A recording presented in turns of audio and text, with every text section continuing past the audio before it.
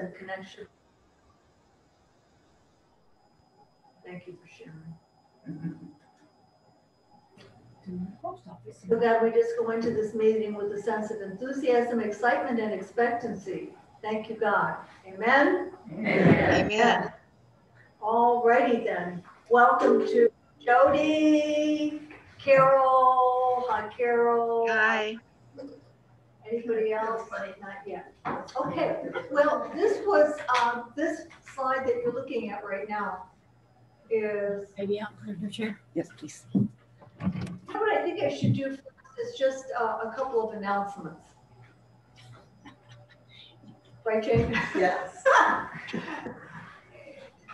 So I'm going to continue this class into the first week in July. And then the following week, I will be out of town. And so I thought, well, maybe then with the loss of momentum while I'm gone for that week, that we would just take a break then until September. What do you think? Great. Yes. A break until September, after July, I think it's July 7th. Am I right, Kat? That first, so we'll continue with this, the topics in this book through the rest of this month and the first of July. And I'm, I'm consolidating them, so we'll pretty much cover what she is talking about in here, writing about. And then take a break for the rest of July and August. And then in September, I'm going to uh, start with uh, Unity, uh, guess I'd call it Unity 202. I'm gonna, I'm gonna talk about basic Unity, The five principles? the five principles and the tools that we have, you know, the, the uh, frameworks that we have in Unity. So there's, there's the, um, uh, the framework of levels of consciousness.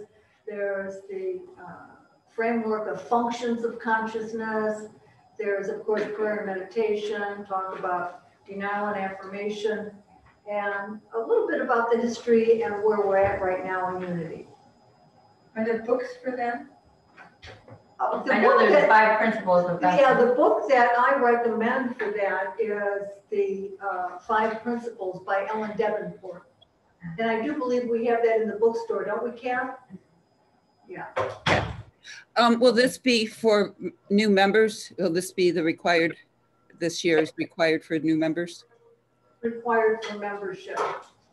Yeah, so I'll do that through September and then coming in October, I'm looking at uh, a book by Desmond Tutu and um, the Dalai Lama called The Book of Joy.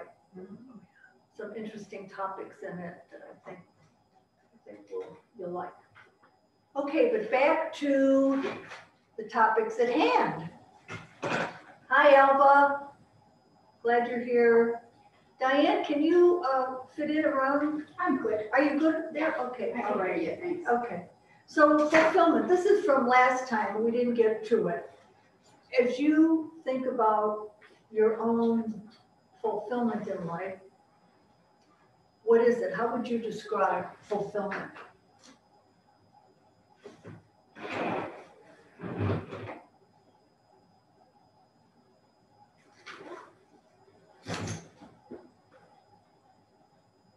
I would say that whatever I have is enough. Good, okay, good. Whatever I have is enough. This is Jody. Um, what I was thinking is that when I am fulfilled, it's when I'm, my self-talk is on target and telling me all of the right, supportive, loving things. Great, thanks, Jody. Great. What else? Joy filled in spirit. Joy-filled mm-hmm. and, and Spirit. and spirit. Great. Great. Susie, When I'm happy and at peace. great. When she's happy and at peace. Betty Jo said joy-filled and spirit, spirit-filled? Yeah. The sense of spirit-filled? Are you all thinking about it? This is Eileen. Um, I would say contented in myself. Great. Contented in yourself, actually fabulous. Anybody else? Yeah, Maya. I love everything everyone else has said. Um, and I think it, for me right now, it's just knowing that I'm where I am supposed to be right now. Hmm, And then I have everything I need hmm, Great, to, to be here. great, great. Anybody else? Okay, well, I, I mean, I know you all have your own idea about what uh, fulfillment is for you. And so based on how you describe that for yourself and the things we've heard and hear from what's been shared, what do you, what do you say it takes to feel fulfilled? Babe, awareness. awareness of, Being aware that you are an aware being. And it was interesting, most of the things I think that were said were not, sorry folks. Most of the things that were said had nothing to do with how much you had or how much you accomplished, but more of how you were feeling. And I think when we are aware of our feelings, um, that we can be fulfilled. did you all online hear? Betty was saying that it, what it takes to be fulfilled is awareness, awareness of your current state. Just be aware. Remember, uh, have you all heard what the Dalai Lama, not the Dalai Lama, uh, the Buddha, the Buddha in his uh, last moments of life or earlier, I, I'm not sure, uh, was asked how he, how he uh, became enlightened and what was, what was important about that. And, uh, and people were saying, well, are, are you, um, are you a saint? No. Are you um, the best guru? No. Are you God? No. Well, then what are you? And he said, I'm awake. I'm awake. So, which is synonymous with awareness, right? Uh, and I mean, we would hope that that awareness is, uh, the content of that awareness is a spiritual perspective, right? Spiritual maturity rather than the reverse. Yes, Well, following up on him, uh, what it takes for me, um, on the days that I feel more fulfilled is the right living, the eight ways of right living, including right speech and, you know, these, these Buddhist points, um, cause that's always the goal. Yeah. It's always Yeah. the goal. it wasn't that it, his, uh, the Buddha's summary of what it takes to be enlightened and awake, uh, the eight, the eightfold path, right?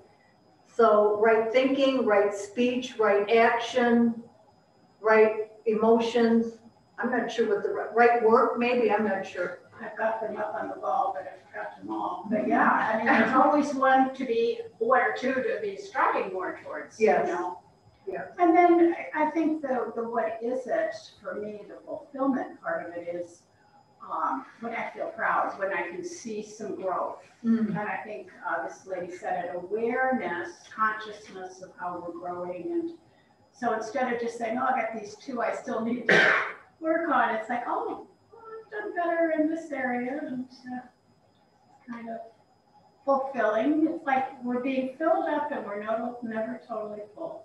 Yeah, yeah, there's always more, always more of God to experience. Great. Anyone online want to comment? What does it take? Carol? Yeah, I'll add, what I think it takes is what everyone has already said, but also letting go of what isn't important and what isn't me. Great, It's a lot of release and just letting my true essence come through and be spiritually led. great, thank you. Jody? Um, also, I think when I'm fulfilled, I'm living in gratitude. Hmm, great, great. Thank you. Anybody else before I? Yeah, this is Kathy. I, I think it also takes faith. For me, it takes faith that I know that God's only good. And so I, I anchor into that. Great, good point. Good point. Betty Jo, Yeah, knowing your, your worthy and your wholeness. great.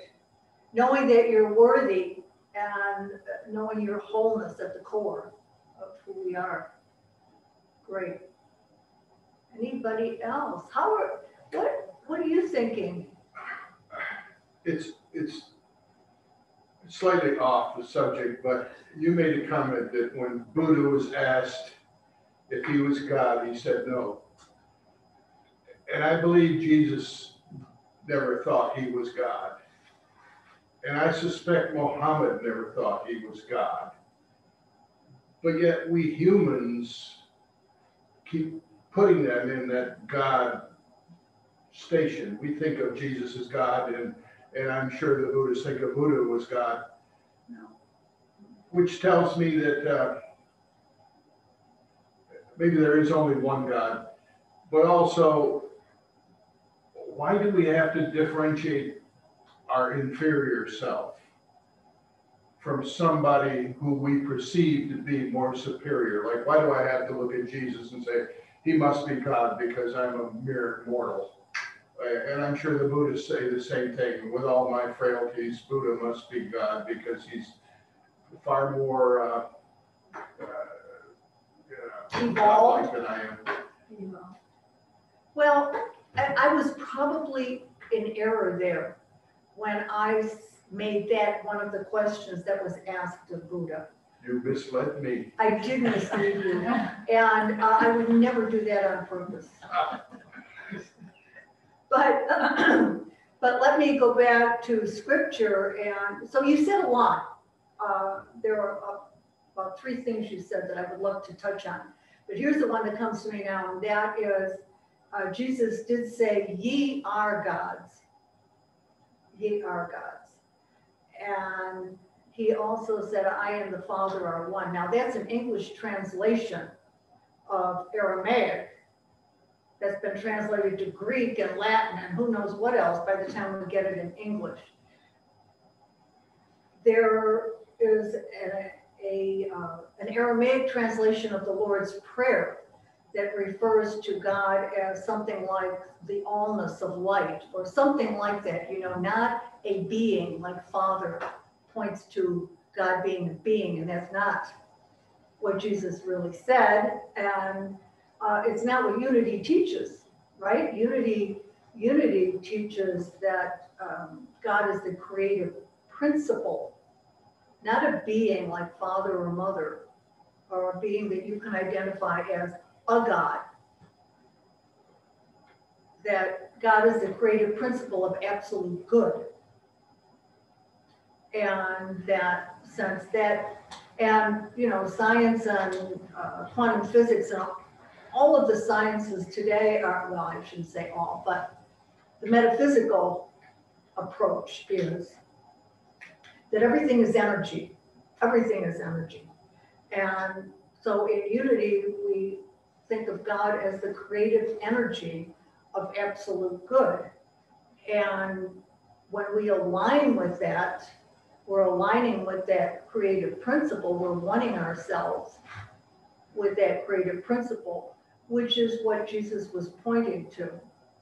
That, uh, that he was in God and God was in him and we are all one, he said, and we are all one.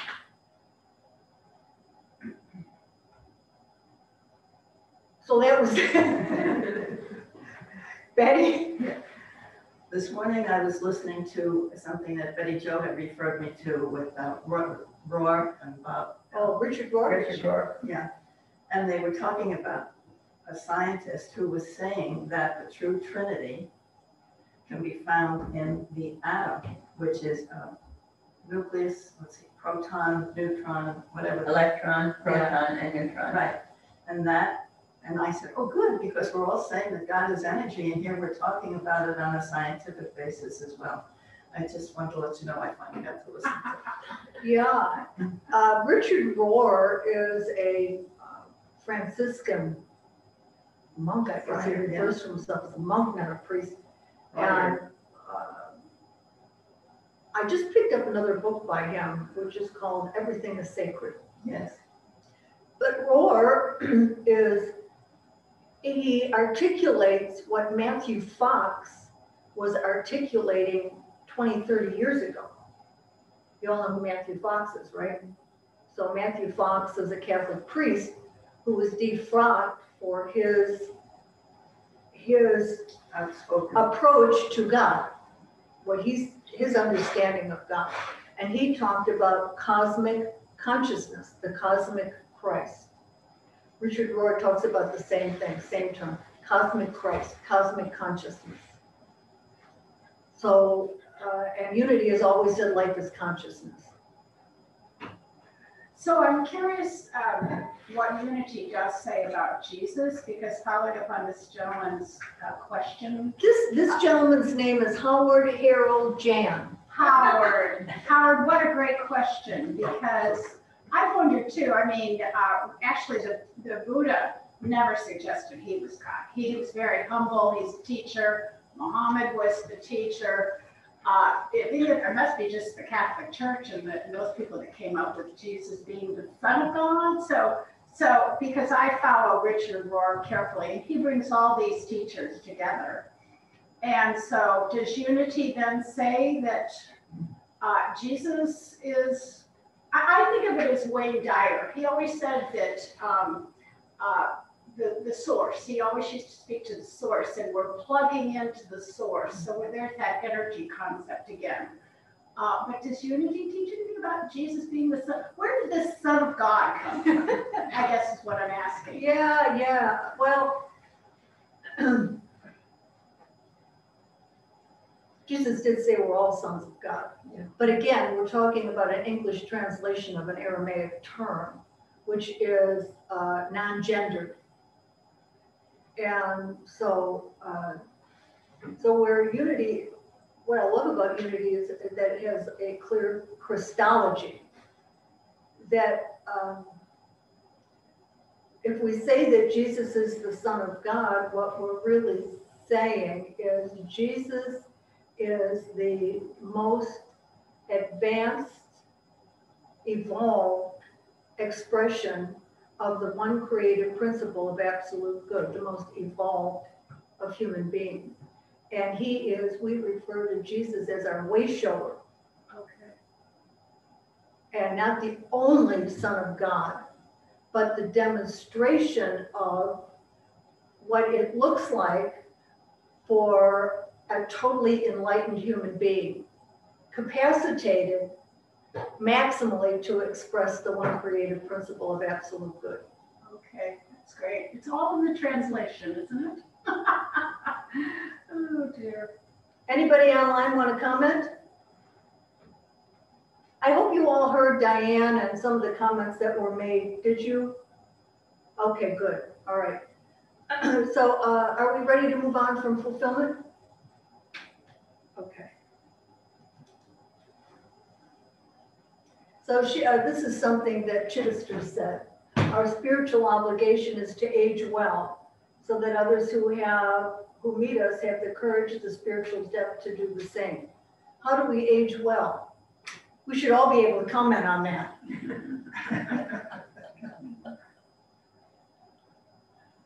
Why, why is there this silence?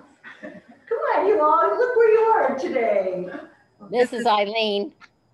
Um, I think how we age well is to live the principles that we know are truth and to um, keep our body and mind um, in the highest uh, place that we can with um, gratitude and peace and love. Great, thank you, thank you. Susie? I want to say I love this book. I think it's great. Oh, Um, good. everybody should read it if you have. Um, it's a should, sorry. I, I want to say one concept of aging well, I feel is uh, to be spiritually and, uh, I mean, mentally and physically active. Mm, Great, great. Like use it or lose it. Mhm. Mentally and spiritually and physically active. And spiritually, okay. And I, yeah, absolutely. Thank you. I would say to be positive in our outlook Mm. and to be open to new ideas Hmm. and don't complain. Right. No complaints. Because it could be worse. Uh, Is Maggie in the office? Why why complaining gets to Mackie? What? She said, don't complain, and you immediately went to Mackie. I Yeah, saw well, Mackie is a complaining. It's a guy. private joke. Oh, okay. I figured it was, Harold. I mean, it's, Betty? uh, what she, she was saying about gratitude and not complaining, I think so much of that now is what I have to remind myself of to be thankful that I am up walking around. I might have a back that hurts, but don't complain about that part. Think that I'm up walking around and that I have eyes to see and all the things that I do have. So it's a positive outlook uh, at your life. It's, I, you know, I think uh, it's such an important perspective as, as we all mature to, uh, to keep our focus where we want the result to be. So, yeah, we can focus on our aches and our pains and uh, what isn't working in the body uh, or around us. And that is low energy. It's, uh, it's not good for our health. But being the person I am, I have to be a little bit of devil's advocate. Yes, I know you will. Now, come on, you guys, a little bit of clum- complaining is okay. Talk to a friend or someone and seek some support and love for what we're going through. The only reason I say that is I think that, you know, this, this thought that we always have to be positive. I mean, I am listening to Louise Hay every morning to her affirmations and they're wonderful. And I think that everything about aging for me starts with the thoughts. And I get what you're saying, all of you, about keeping positive energy. But let's go ahead and let ourselves listen to the reality of aging and seek some love and support for that and not necessarily consider that that other person's complaining. I don't. I feel like they need a good old hug or, you know, some understanding when they're in that place. Scary stuff. Um, well, I always thank God for devil's advocates. Yeah. Uh, And what I want to say again is, I've probably said it in here before, and I'm always, um,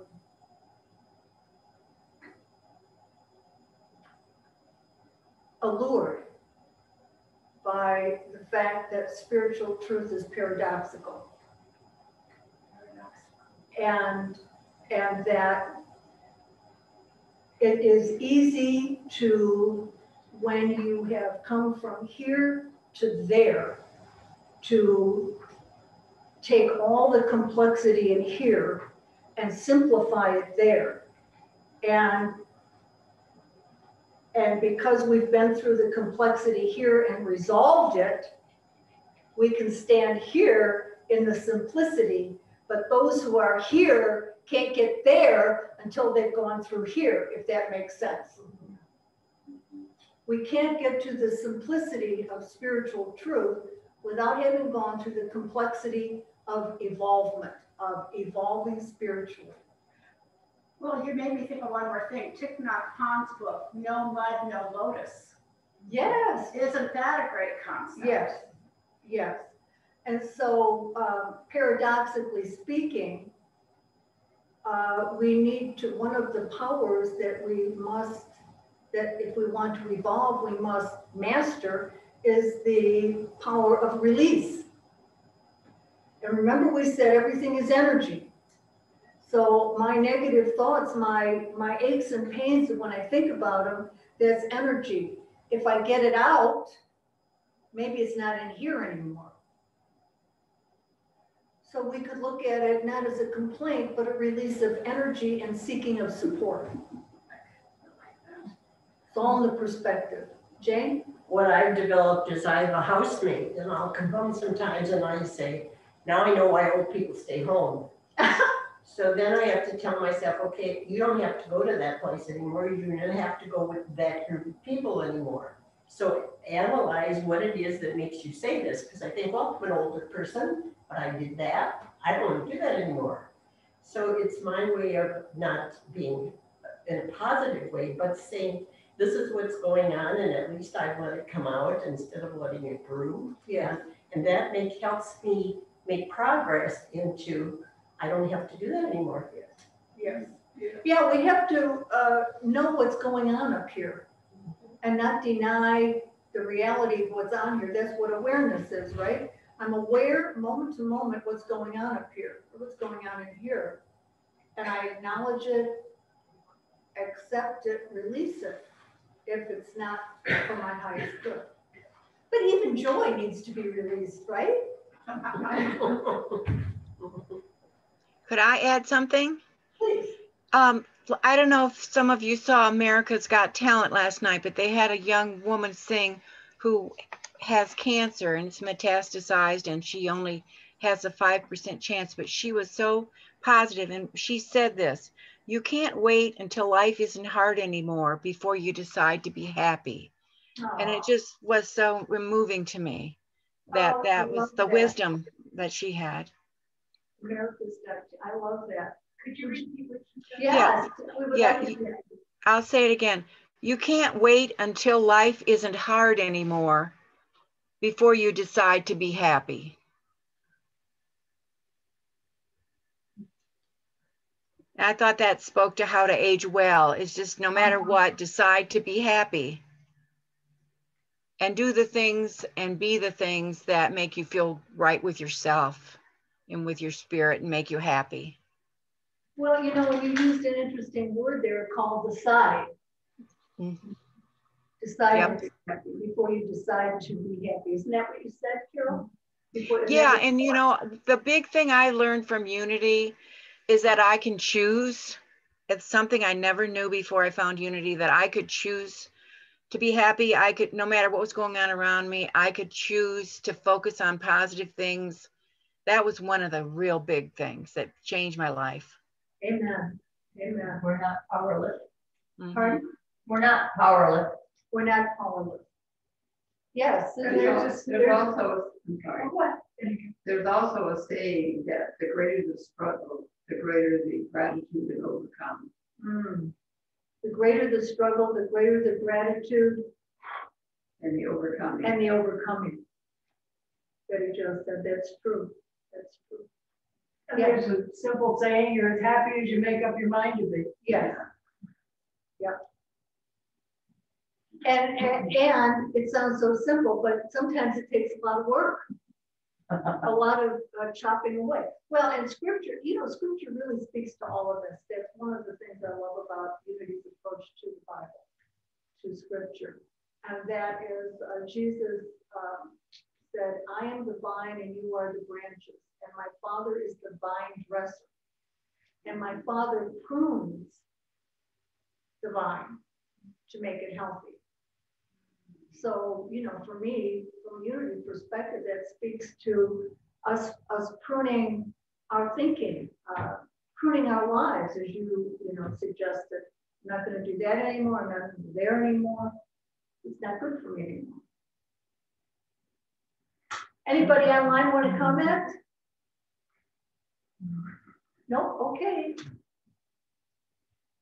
It has taken almost a lifetime to love a sunset, to value company, to give up what has always been too much, and to learn to revel in what is enough, which is what Linda said.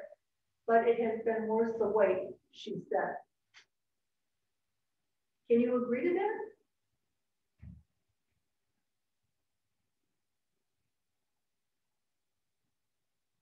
People in I'm, class I'm working on it.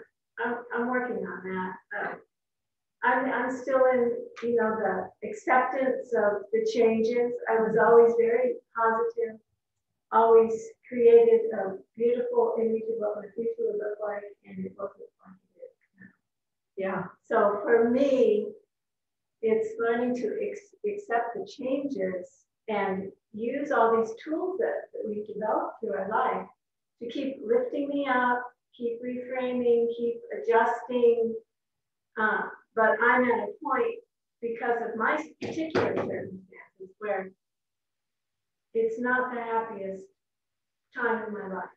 And so that's just the, the truth of it. But I think it's it happens to everyone.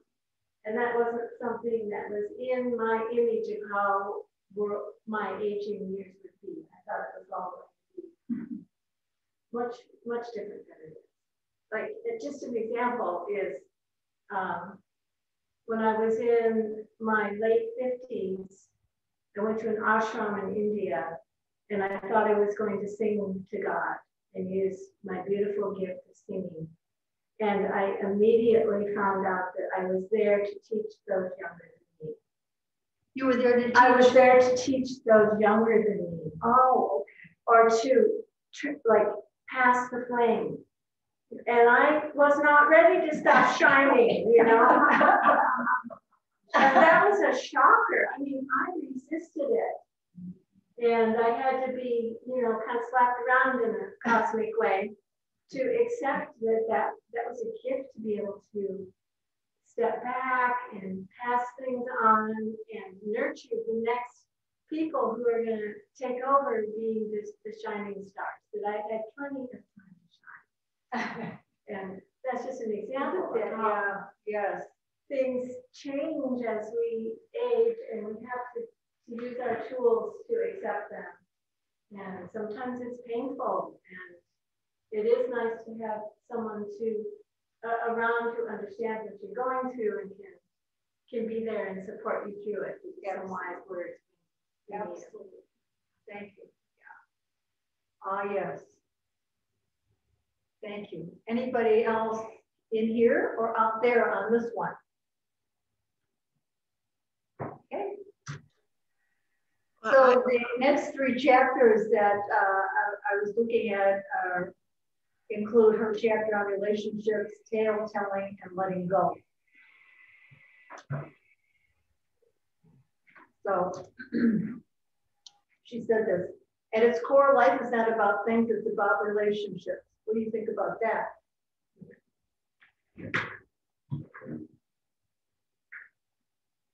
Any comments out there in here?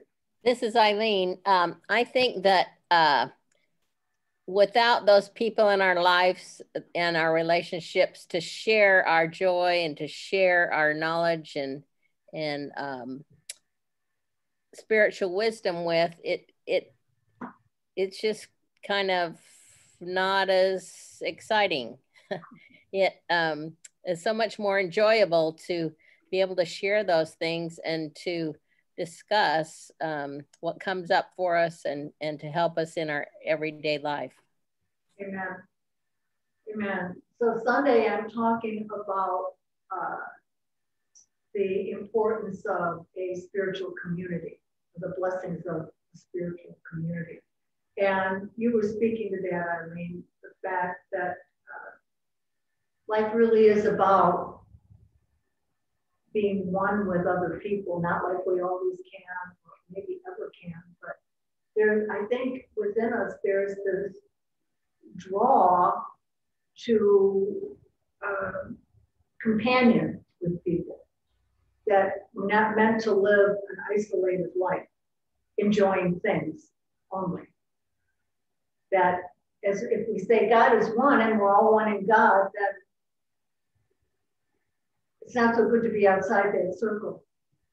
Yes, Howard. Well, you know, I've, I've had a long life, fortunately, and uh, I've done lots of things, been lots of places. But the one thing, the relationship with Susan, it's always been there. And I would, hard to say it, but I would give her all the things and keep Susan. Because you reach a point, and I feel sad about the, you people, uh, some of you I'm sure lost a husband or a, a, spouse or, or divorced of you. I, feel sad for you because, man, it's this relationship that is life. Hmm. I can't think of any part of life that, good part of life that doesn't involve Susan.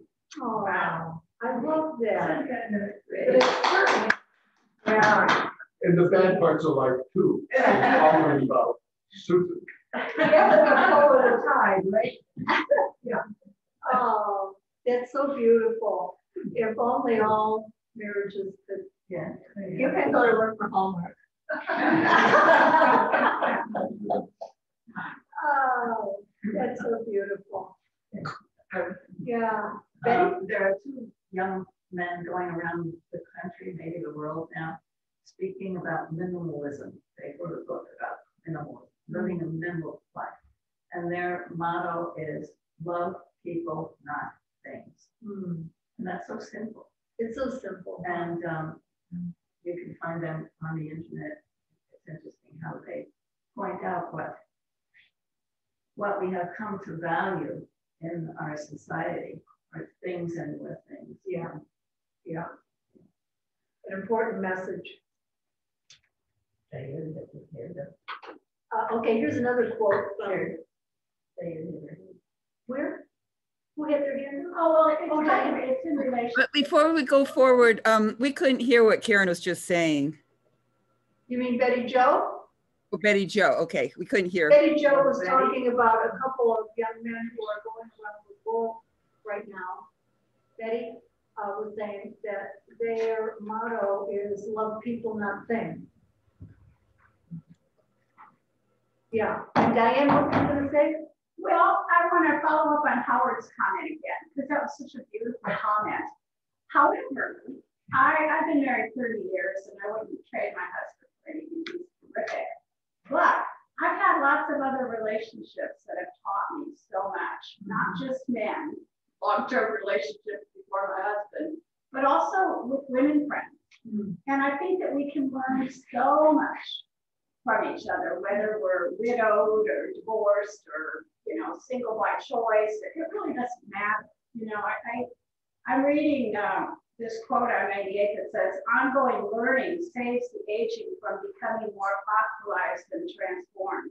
Um, the problem with aging is not age, it is rigidity of soul, inflexibility. For me, that's how I grow, is other people. Everybody in here is teaching me things right now. And it's just that perspective that we get from each other that's, um, so yeah, when our relationships begin to, for our life changes, and that's to me, um, you know, a forging for new, for new opportunities. Yeah. I would love for you to read that piece again. Did you all hear what Diane read from the book? I didn't think so. Diane, would you read that sentence again? Real loud. She, she's talking about, uh, it was 181. I think you said ninety-eight, right?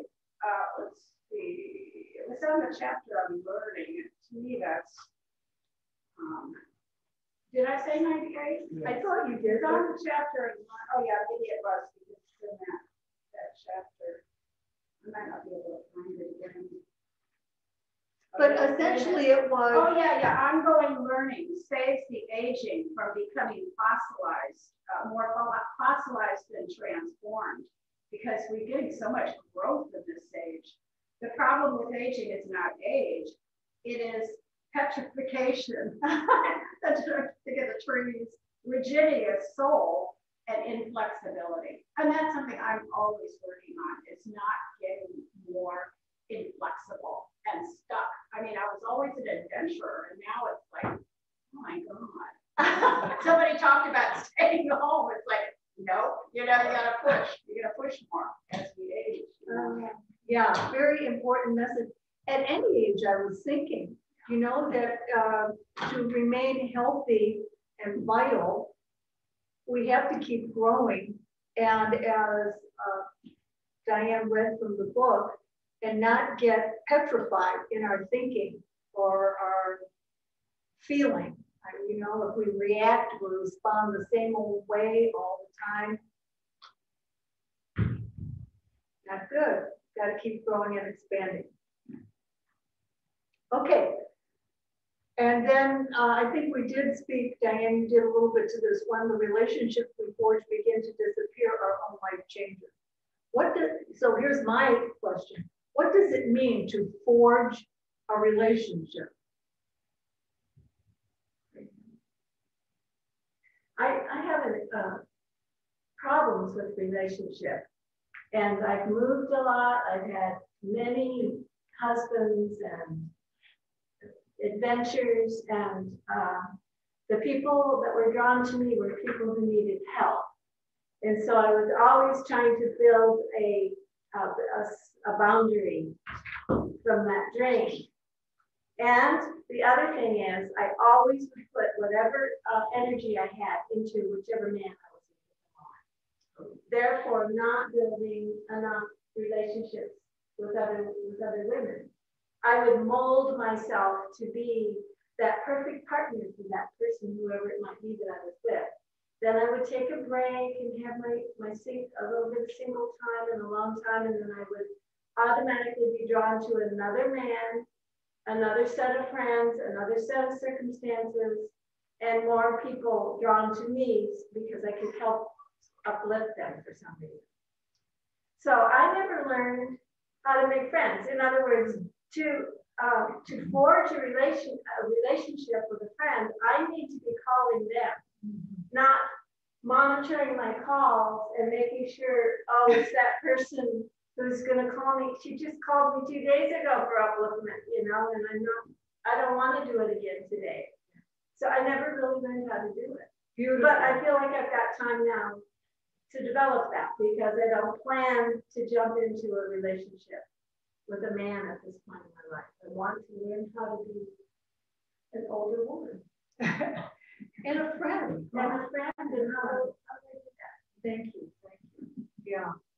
So uh, what Maya was saying is that forging a relationship takes an output of energy, uh, reaching out. Let it begin with me. Exactly. My relationship lessons have um, been pretty much centered around personal growth in me. And the people I draw to me are to teach me to accept myself in different ways.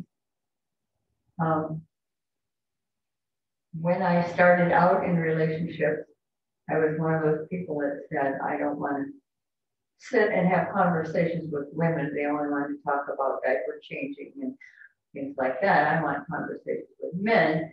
It's more meaningful. And then as I grew, I discovered that I was surrounded by a beautiful bouquet of women friends and the different gifts that they gave me. And I realized that that's what I had developed in myself. That's hmm. why I could see it hmm. in them. And I had a, a very low self-acceptance when I started. I talk about not, not liking my name, hating my name. And uh, in, in recovery and in spiritual growth, I've learned to love me, not in a egotistical way, but in a respectful way. And so that's forging for me. Well said. In a respectful way. Yeah. Um, you said something else I wanted to comment on, but maybe it'll come back.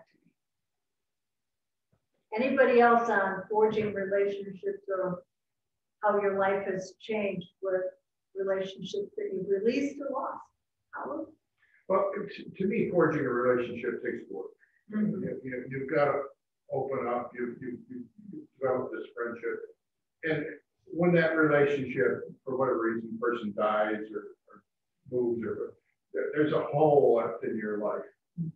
And, and you go out and try to fill it by again, doing some more forging and coming up with new friends. And, and I think that's, that's life. As, as you move through life, especially at this age, you know, they're checking out all the time. You need, you need to be open to new friends, new acquaintances, new relationships, or all of a sudden you're gonna be very lonely. Absolutely, absolutely. Uh, And again, it reminded me of the importance of the spiritual community. You know, where we develop uh, really close relationships with one another based on spiritual principles. I mean, it's a place to uh, be with people of like mind and find new relationship. And can I just add that part of this forging is uh, knowing, like coming to know yourself and what is it, what kinds of people do I need and what kinds of community do I need in my life right now? And then now as I'm just starting to go out and I talk to people and I think that I really like that person, but we don't really have a lot in common. Um, so this would be a person I'd be happy to be in community with and to enjoy uh, community with, but it's not someone who maybe I can talk the depths. And I'm, I've always been used to talking the depths, and I have to learn different levels of, of relationship. I think they're true different types of relationship, and we need we need a lot of them. Mm -hmm. Mm -hmm the richness of the rainbow the of rainbow. personalities. Yeah. Yeah. Yeah. I, I remember uh, when I, in 2014, I left the church I was serving in the San Diego area and I devoted myself to being a life coach. And I was just, I thought I was just ready. I, you know, I want another lifestyle. I don't want to work on Sundays anymore. I want my weekends back.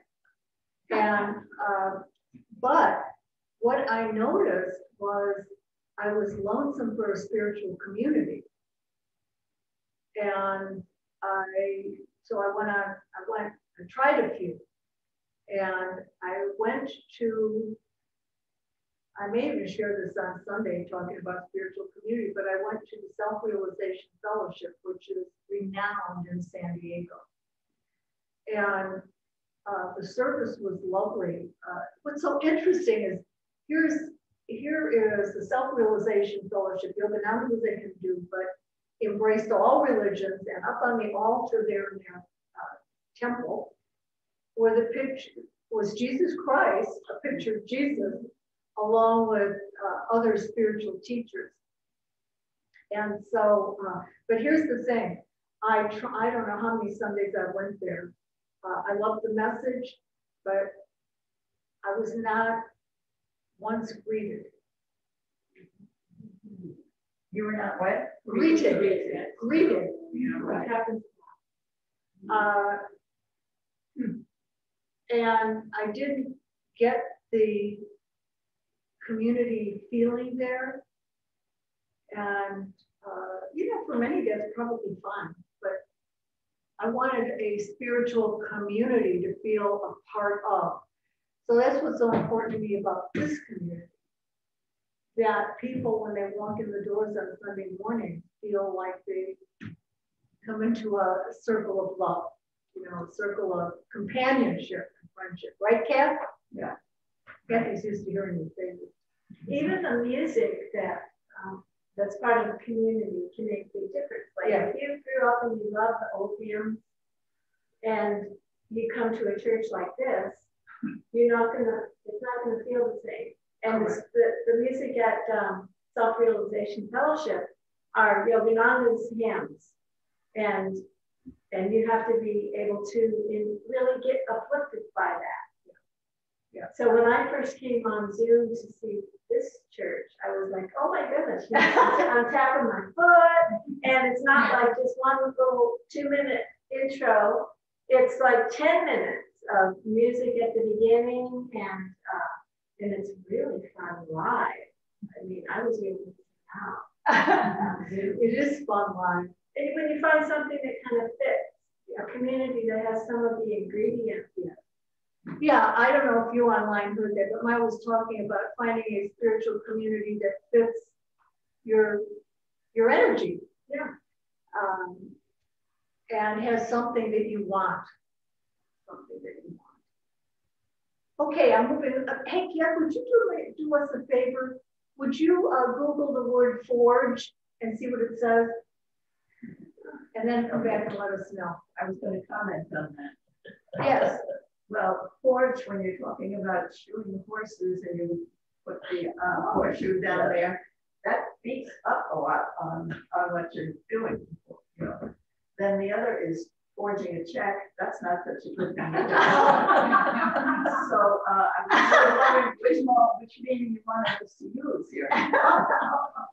It's also heat. Yes. Is Yeah. heat? And that's what Google says. It both mean the same thing. Forge is to make a horseshoe, forge a check is to make one.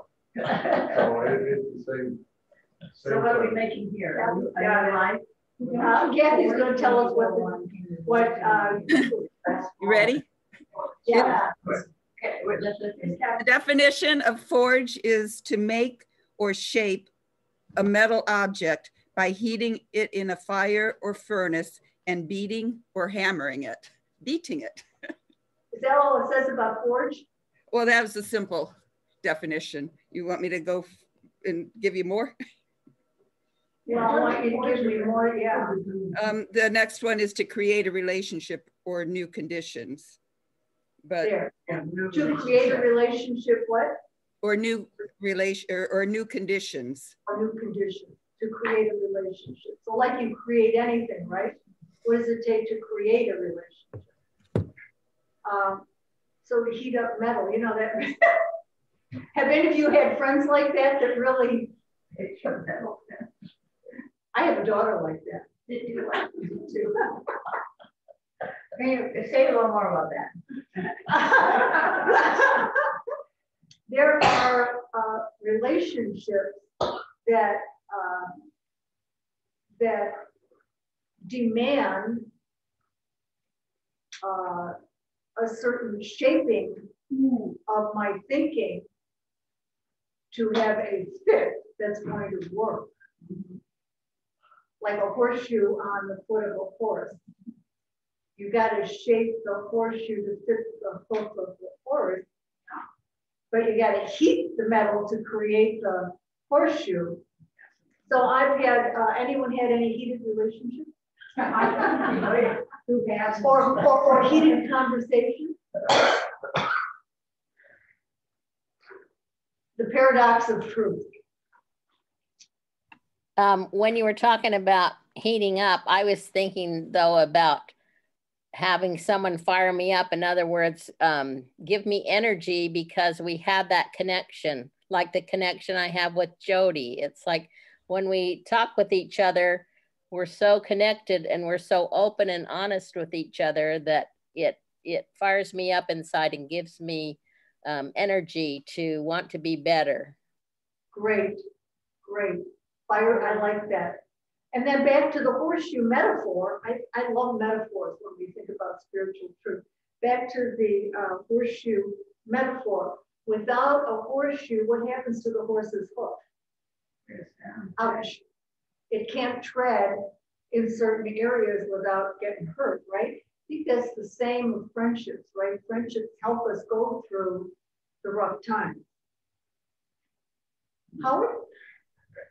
You're speaking of relationships and, and forging, we, uh, you know, banks are basically, most of you probably think the bank is very impersonal, we go there, get, get cash, et cetera, et cetera.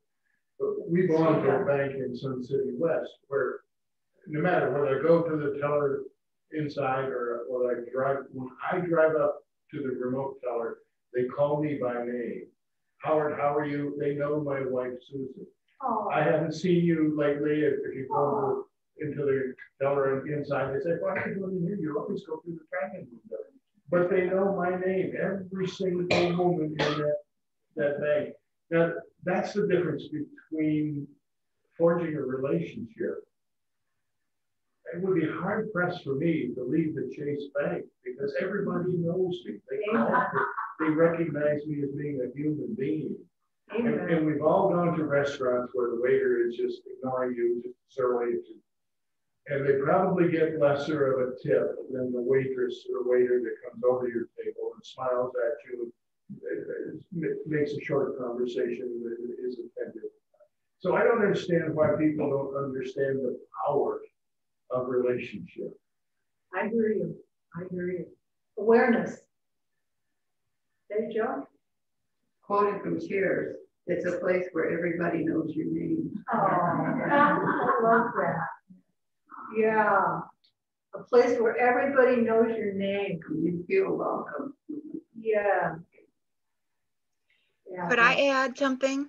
Um, about a spiritual community, I've belonged to large churches and even the Unity of Phoenix is pretty large. And I was a member for over 10 years, but never really formed any relationships until I, I put myself out there by going to some of the small groups, you know, the classes, joining, had, you know, I, I needed to join things and then I needed to be a little more um, authentic and reach out to people.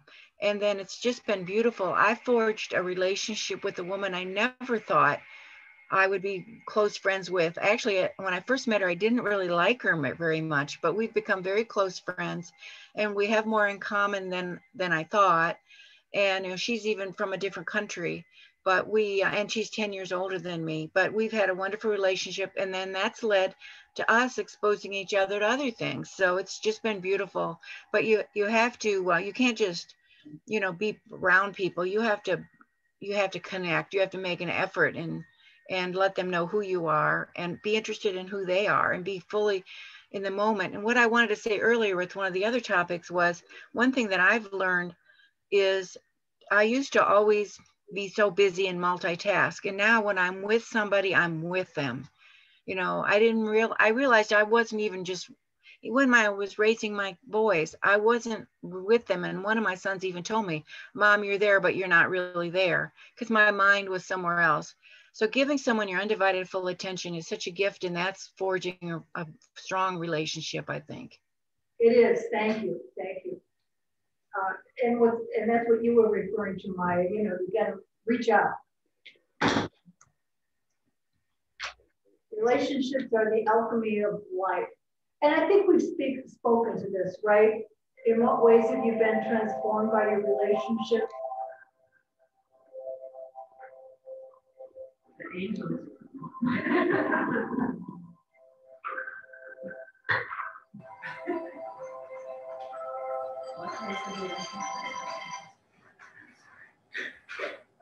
Um, anyone want to comment more about in what ways you've been transformed by your relationship? Diane? I'd have to say every way. I mean, I, I've lived in different cultures and I've been in so many different settings professionally and I've sat with so many different people that have taught me so much, um, you know, and, and the, the good and the bad. Just hearing their stories about some, some things about, you know, um, broken things. And it's, it's, it's quite beautiful. Humans are quite beautiful and, and challenging. I mean, I, I had pushed it with my daughter because totally different personality. And so it gives us that ability, relationships to, to grow so much. Right. And especially if we get this gift of years. Yeah, uh, forging, forging. Okay, I'm going on. The elders know what it means to be family, citizen, free, enslaved. They know the difference between evolution and revolution, and there is room for both. And I think, um, I think a couple of you have spoken to that, evolution and revolution, room for both. What, what do you have to say about that?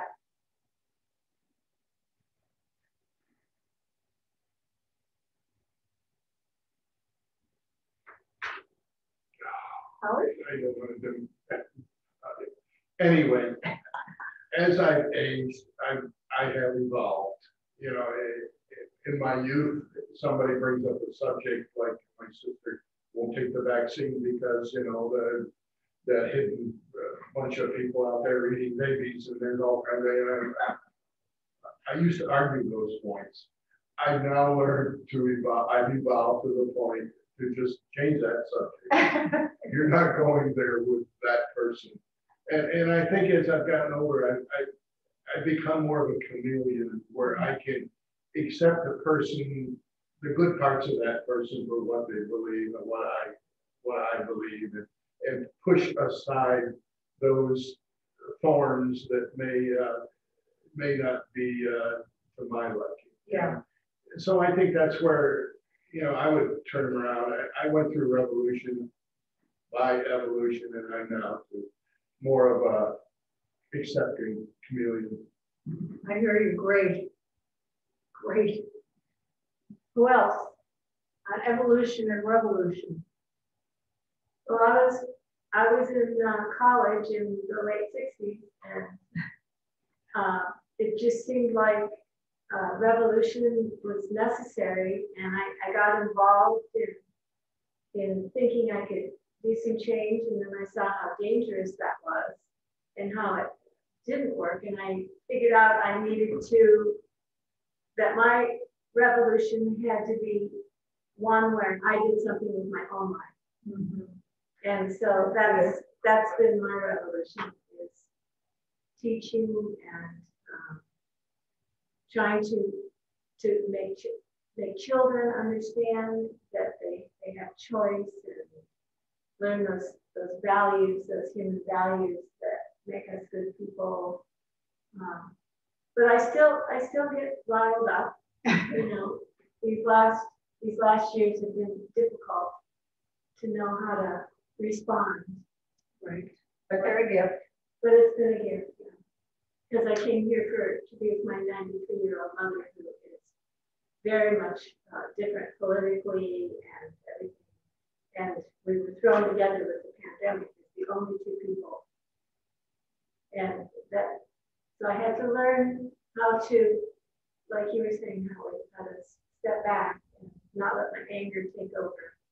Yeah, I'm gonna, I'm gonna share this online because I'm not sure that they all heard you. And that was, Maya was talking about earlier days and being a part of the, uh, the wild and crazy sixties uh, revolution and um,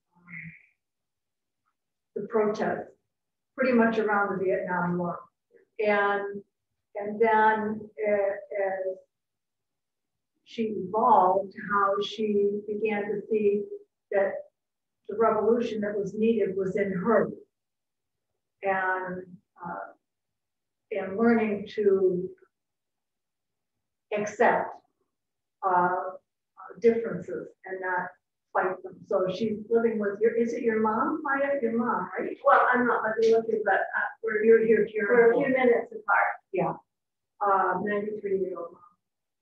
93? Yeah, great. I had an insurance, I mean, a uh, financial planner tell me, uh, we're calculating your retirement based on you living until 94. And I go, Yeah. 94, huh? I never thought of it that way. So 93, great. But anyway, um, so the evolution and revolution activities. When I thought about revolution, if you look at the, um, the, the Latin meaning, or even the prefix RE, it means to, uh, again, to turn it around. And volare is to turn. Volver in Spanish is to turn. So revolution is to turn something around. Okay, more. Even more important is the call to elders to pass these stories on. What stories are important to you to pass on to the next generation?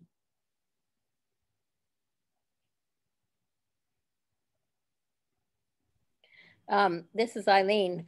With my family, um, I come from a, a family of Mormons who, some of them even came from England to uh, get uh, freedom of religion. And so um, a lot of them came across the country being persecuted because of their religion.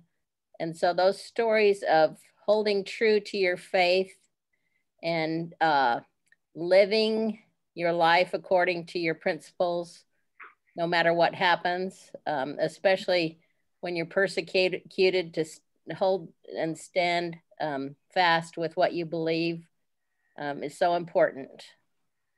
Great, great, thank you. Well, what stories are important for you to pass on to the next generation? Um, I'll Yeah. speak. Um, when I retired, I all of a sudden felt this urge to write an article that would kind of summarize the um, what I wanted the younger generation of nurses to know. And uh, so I did get it published, and actually, it's going to be republished, I think, in the uh, Arizona Nurses Journal, you know, coming up. But, anyways, it was just about being courageous. And I had examples from my early days as a nurse and then my middle years and my later years about when it was when I had to make a decision and I even had a boss say, say to me, well, that's a career limit, limiting move. You know, when I had to say no, I wouldn't do something that he wanted to do that I thought might harm patients. And, um, and there were times when I did uh, end up having to leave a job because I stood up for what I felt was the best for the patients and kept my um, integrity as far as being a nurse and as a person. So uh, I felt that was important and I'm glad I did it and I hope it maybe helps other people who may have read may read that to do the same thing to stand up for their beliefs because uh, it's it's easy for the workplace to try to get you off track and take the easy road instead of what you know is right. Yeah, thank you, thank you. Yeah, I mean, stop and think of the stories that were passed on to you, you know, by your parents or grandparents, uncles, aunts and, and when you think about all that you have learned, yeah. Here I go again, I'm sorry, but a, few years back when I suddenly realized I was mortal, and uh, I, I got thinking that there's so many questions I'd love to ask my grandfather, my mother, my father, and, and they're, gone, and they can't answer those questions. So I wrote my autobiography. It's about 150 pages, and it starts out with a pair of baby shoes, and it says, "Come walk with me," and I, and I, oh. I carry you through my life. Oh. And, and I believe as you read it, my brothers and sisters who know me better than anybody else suddenly knew me. The, the, the big negative with writing your autobiography is now anybody that reads it now knows the real you, at least the you you think is there. Uh, and, and there, there's some risk involved in that. But it's all written down. And when, when I'm gone, if uh, a grandchild or something, and that's primarily why I did it, because we adopted a grand a granddaughter late in life, and uh, we didn't, my daughter did. Um, Isabella's seven, my daughter's 53 or something like that. So she won't know what my life was like, and she can pick that up and read about this grandfather that she can remember. Great. So I, I, I would highly recommend everybody sit down and yeah, just write the story. You don't have to write an autobiography. You'll be surprised. Just write the stories that come to your mind in life, and after a year or so, you look at all those stories and say, "Damn, if I had this, this, and this, I got an autobiography." it, that is a tremendous gift. I wish that my mom and dad had taken the time to do that. And I haven't done it for my kids yet. But I know that I, I've heard from a number of my friends that they've gone into classes in continuing education uh, programs where it's uh, to write your autobiography. Um, I think it's a great idea to leave for our kids or anybody else behind us. Yeah, Karen? Uh, I see different levels of this. One of them, and I don't know how to put it into words, but the um, truth sayer that a grandparent can be mm. when a, a, child tells their child how they did or didn't do things. And the grandparent says, well, no, that's not quite the way it was. you know, that that kind of thing, and it's um, a really healthy thing.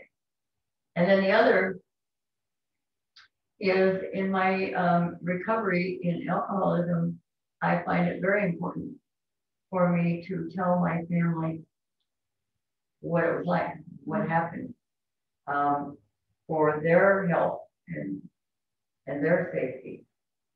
Um, and then on the spiritual side, I've had a number of, um, I had a time warp experience. Uh, I've had a number of, oh, I guess woo experience. the only way I could put it.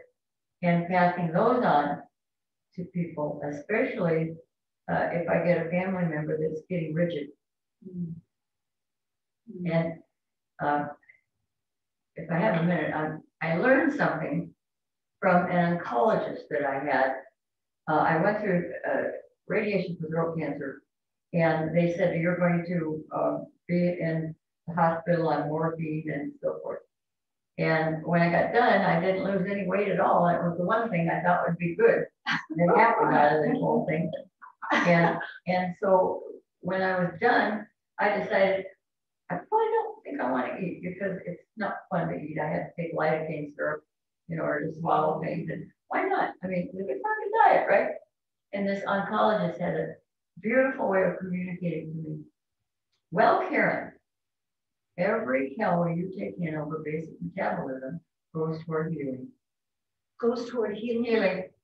And that's that way of communicating. I remember that and I respect that so much. It wasn't contentious. Right.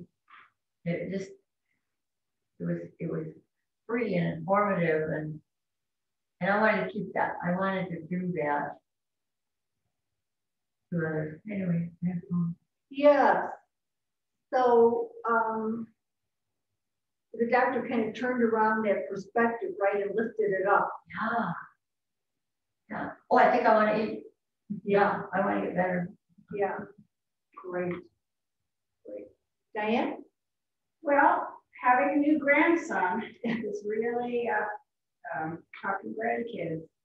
I bought an Amazon journal on the grandmother's journal because when my daughter was born, I thought I would write in a journal every day. and it got to shaking your head, Susan. You got, you got to year one, and that was, you know.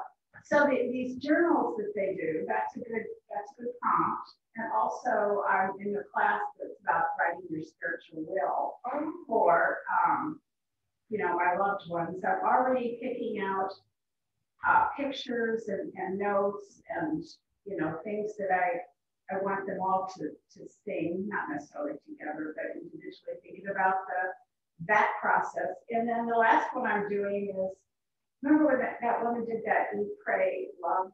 Yes. I, I had to laugh at that because I went from Italy to Australia to Alaska. And so I'm writing one that's called Eat, Swim, Freeze. And just as a joke for my, my grandson again to talk about some of my adventures you know, what I- and what I learned in the different places, like you went to India. It was just so much that we learn, all of us, that we, uh, you know, can can make notes of. Eat, swim, Freeze. You know, I should come up with a better part for Alaska because it was a very metaphysical place, very metaphysical, but that, that was what I. But pretty cool. So just Putting down memories of what I learned in each place. Um, You know. I like that spiritual journal thing. Yeah, That's spiritual good. will, there's spiritual courses about doing the spiritual will. And it just, um, and I think there's several books on there, aren't there, Sharon, of doing the spiritual will? I actually, um, I'm at the Franciscan Center in Portland, and that's where I got some of that.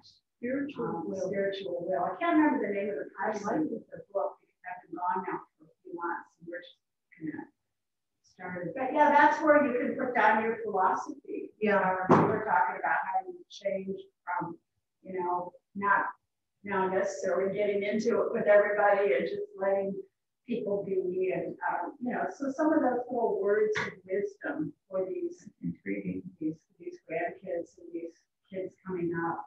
What a great idea. What a great idea. I love it. Anybody online want to speak to this anymore before I move on? Okay then. The tale bearers are proof of the authenticity of the past. I think we've been speaking to that, right? As we tell the stories, um, we authenticate our experience. So it's not only for those who will read it or hear the story, it's for our own self to authenticate our own experience. what are the important tales that were passed down to you, ones that have helped you or inspired you? We've spoken about that a little bit too.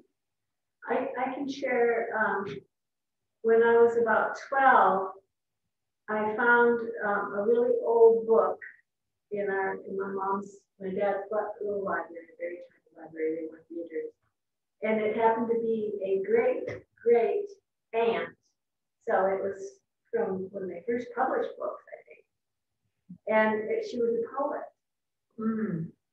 And something really connected with me that you could write these words that are kind of hard to understand. Her poetry wasn't understandable to me really, but it just made me feel like I wanted to be a poet. I wanted to be able to express myself like that and pass something down Yeah. that maybe somewhere some great great niece would pick this up and get some sort of inspiration. Beautiful. So that's that's one that I can say inspired me, even though I couldn't connect with her words. But it somehow, somehow it sounds like your soul did. But but some it just said something that to me. It Yeah. spoke to me. Uh, Did you all hear Maya? She found a book, of poetry that her aunt, her Great, great, great aunt, great mom, really old. Okay, anyone else on this one? Yeah, I have a comment. Is Yeah. um, it's Kathy.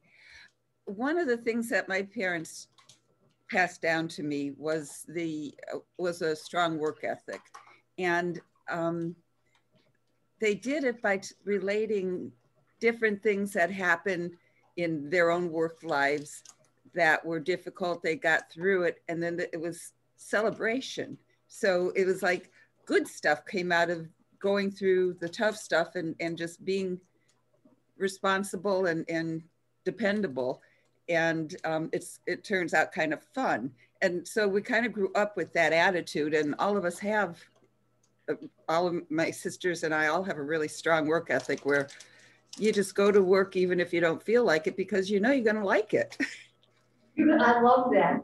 And I'm very grateful that they passed that on to you.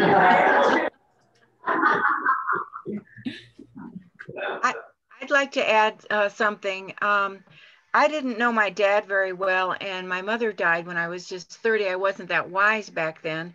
And my mother didn't share very much about our dad.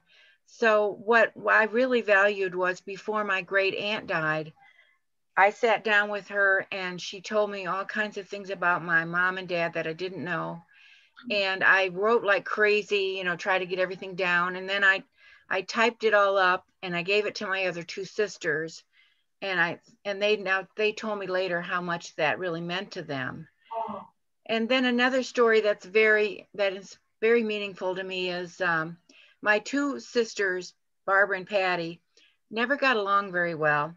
But when my sister Patty really needed help, my younger sister Barbara stepped in and actually became her guardian and conservator. Oh. Patty had all kinds of problems. She'd been taken advantage of and lost all of her money and was, you know, had to file for bankruptcy. But Barbara took care of Patty and she shared the story of how she uh, went through the court and her learning curve of how she learned to love and respect and find um, peace with her relationship with Patty. And Patty died a year ago, but Barbara shared all those more and more about that and her journey. And that story means a lot to me. And Mm. actually, I think I might write something about that because that was a great major transformation for them. And then them sharing with me is Barbara sharing it with me is such a gift. So It's a great teaching story, isn't it? yes. About how to heal a relationship. hmm I have something I'd say. Yes. Yeah, I, I, I think mine impressed me by the stories that came down to me. My family were from Texas, and something that my family members go all the way back to the time uh, they served with Sam Houston at San Jacinto in the War of the Republic. Uh, they're also very, my father was very much a cowboy. And they used to, when they came to Arizona, they, they used to uh, catch and break wild horses to, you know, here uh, to use on the ranches. So anyway, I think that, and then the, and then during the war, they went in and they served in Europe and uh, the Pacific, and one died in the Pacific. But so I think that's that strong American sense of uh, you know going back, and I mean it, it it's just I think that it just gave me that to be you know the American spirit feeling, and it has a spiritual sense to it, of course. Yes. Uh, yeah. Uh, is there a cowboy in you, Elba? Huh? Is there a cowboy in you? Oh, I can ride a horse. I'm not a cowboy. My dad, I mean, he worked cattle and rode horses. Nah, I'm lucky. I've never been thrown off one. I'm I, I'm the cowboy. If you ever throwed me, I wouldn't get back on. Oh, thank Yeah. you. Thank you for that. Sam Houston, huh? Woo. Yeah, Wild, Wild West. yeah, it's quite a way. That's back in the 1830s. Wow. Okay, finally, this was the third subject. Um, when physical eyesight declines, spiritual insight increases. And I think, I mean, that's kind of been at the center of what much of what we've been saying is, right? Is as we, not about eyesight, but as we've grown older, our spiritual insight has increased. And uh, this is all about letting go. So, what do you have to say about letting go and spiritual insight? Full day workshop again. Start An all-day workshop. Yeah. Oh, I I think, think- much- I think much of spiritual learning is letting go of a lot of our old beliefs. They don't serve us anymore. It's on service anymore. Yes. Pruning, pruning. Okay, I think we've come to a stopping point right here. Uh, anyone else want to comment before I close with prayer? Could you tell me who's the lady on the top? Yeah, we should identify ourselves, right? Uh, starting with you, Carol, would you identify yourself for those of us sitting here? That's Sharon Hold that meeting up here. on the top. Yeah. Who is that lady on the top? Oh, I mean the one she used to be on the top there, Sharon. Those of you online, please introduce yourself. Oh, I'm sorry. Uh, Carol Dobus. Great. And beneath uh, Carol is unmute, Jody. Um, you're, I'm introducing myself. Are you just wanting to know my name? I, okay, I'm Jody Jacobs. From Chandler, Arizona. Oh, And below Jody is my crack admin, whose work, work ethic I love. I'm Kathy Collins. She's crack only. No other drugs. And uh, under Kathy is Eileen, would you unmute, introduce yourself? Yes, I'm Eileen Barber and Uh, I'm Judy Phillips, back here in the background. Both from Chandler. Yes, Uh, Judy is an artist, Eileen is a master cook. oh, among other things. And would you introduce yourself, cowboy? Hey, cowboy. Yo. uh, Alva, morning. Alvin Mooring. So, and those of us in here will start over here. Just let's go around the circle quick. Maya, Joy, Diane, Karen, Hey Joe, Linda, Howard, Susan, Jane. Sharon. It sounds like the Mickey Mouse Club.